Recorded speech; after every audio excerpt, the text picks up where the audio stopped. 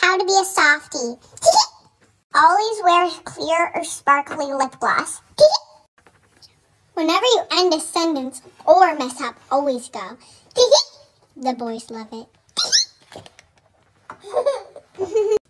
Every time you put on lip gloss, always go. The boys will come running. Always pair a teddy bear with your outfit, unless you're not a true softie. Always wear hair down in a low ponytail or in pigtails. Never wear hair up like a baddie. Always wear pastel colored clothes. And if you don't have real freckles, make them with makeup. The boys love when you have freckles.